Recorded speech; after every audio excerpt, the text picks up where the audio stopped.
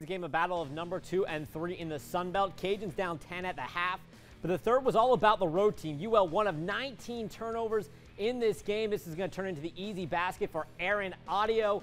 Then check out this ball movement. USA recording 18 assists. Kendall Williams gets the two ball, 48-22. Cajuns being outscored 19 3 at this point in the third. They trail by as many as 31.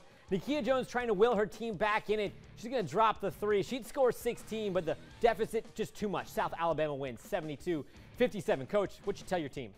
In today's world, you know, communication is when you speak, they respond right away. You know, instead of listening, they respond before we finish talking. And, and I think that's what the best response or the best thing that we can say is you just got your butt kicked. You know, you just got your bucket, and it, it it's like there's no response after that.